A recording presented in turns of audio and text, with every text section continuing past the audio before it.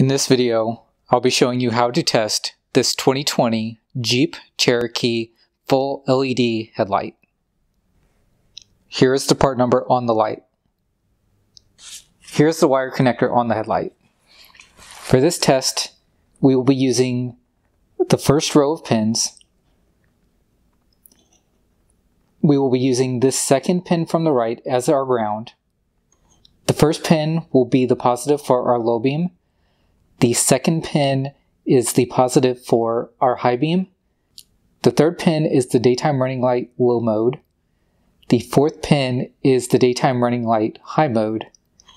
And in order to test the turn signal, we need to move the ground from this pin back to the first and then use this pin as our positive. We will not be using the bottom row of pins for this test. Here is the turn signal. Here is the low beam. Here is the high beam. Here is the daytime running light low.